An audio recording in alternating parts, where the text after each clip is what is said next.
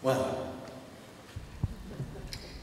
you know, when you're involved in one of these things, the first thing you think about is when it all started. And I think of a, a young student athlete here at Ritenour in 1974, coming in this big old school and not knowing where he's heading and what he's doing. Uh, like our previous uh, inductee, lot of people to thank for guiding me along the right direction. Obviously, my parents, my sister, who nominated me, I want to thank her for this award. My wife, who supports and loves me endlessly. My family that's here. My teammates. I had four teammates that came here from 46 years ago. How about that for written equipment?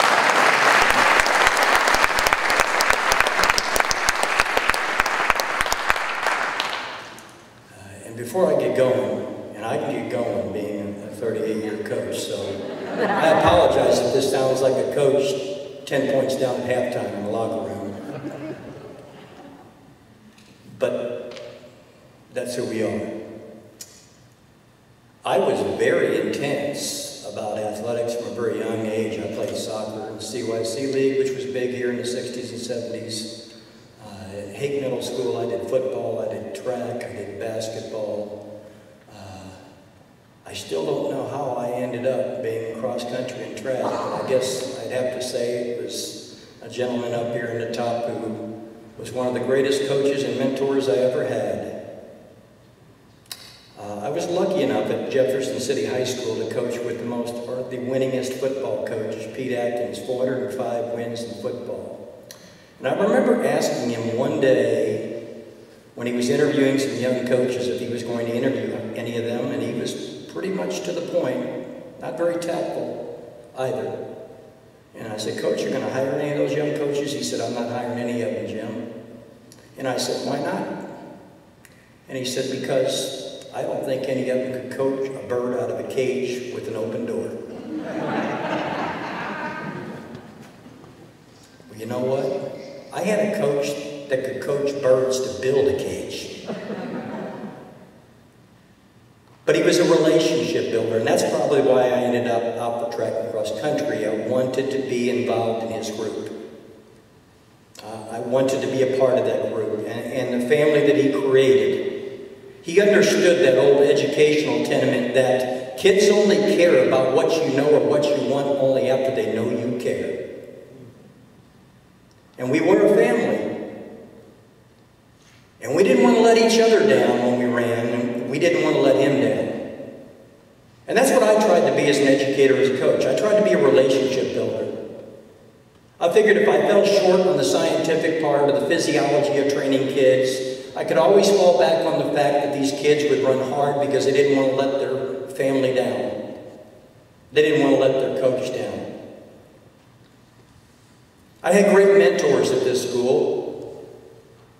You know, when, you look back at, at the age I'm at now and you wonder how you got to that point, you start remembering people who kind of guided you. I, I can remember an English teacher here, Mrs. Martha Osthoff, 47 years ago. I could care less about reading a book. Now, I did well enough in school because obviously I had to impress my parents. But she actually made a, a point to build a relationship with me. And, and by the time I got done with her English class, I liked writing.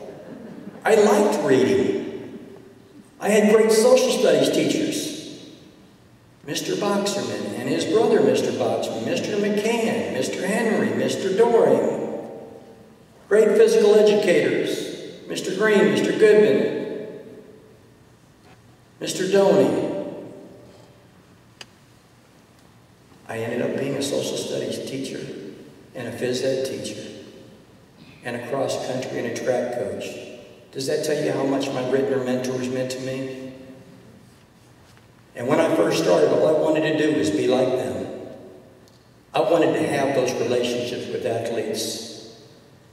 I wanted to be around kids.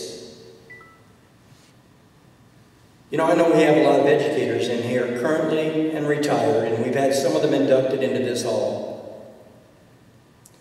I don't think I'd have to convince anybody, or I don't think I'd have to sit down and, and lecture them on the fact that our teachers are needed more than they ever have been. I currently travel around the state, not only speaking, but listening to the stories of students of trauma, those that have been in rough situations. We have one out of three kids that suffer from depression nowadays before age 18. We have one out of three kids that live in a family of addiction. We have kids with PTSD before they even hit age 10. I know it's important that these educators make sure these kids have great subject content and they learn what they're supposed to. But we need teachers and we need mentors worse than this country's ever needed them. So I want to thank the teachers because I didn't have to put up with visual teaching. And I didn't have to try to communicate and build relationships like you guys have. And quite frankly, I don't think what I just listed as some of the problems with our children today, I don't think I had much of that either during my time. I hope if you know teachers, you shake their hand, you pat them on the back, you hug them as many times as you can. It's a tough, tough job. I'm proud to be part of that profession and part of that fraternity. I hope that more young people continue to do so. It's a great profession. We need to continue to do things to help our kids get through these tough times. Be a relationship builder. Be what these kids need. This school was my guiding light. As a sophomore, I just did well enough, but I was involved in a program that well enough wasn't good enough. And if I wanted to be like my role models, the upperclassmen on the team, then I had to commit. I had to commit to being the best student I could be, besides being the best athlete I could be. And that's something we need to preach to kids too, what, what real commitment is, and, and what it is to sacrifice, and what it is to lay it all on the line. We live in a culture today that worries me because we're not pushing our kids out of the comfort zone enough. I tell parents when I get to speak to parents with my current organization, push your kids out of the comfort zone as often as you can. They'll learn how to deal with life when it gets tough. They'll also be healthier as a result of it. They'll also never lay down when things get tough. They'll always get up and try again. I was blessed my entire career to be around people like Coach Wirtz. I had a Hall of Fame college coach. At Jefferson City, I had many Hall of Fame coaches that were there when I took that job.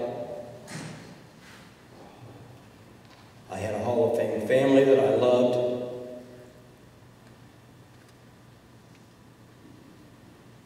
I have a Hall of Fame life that I love. I've been a lucky man. Thank you to the Ritenour School District for this honor.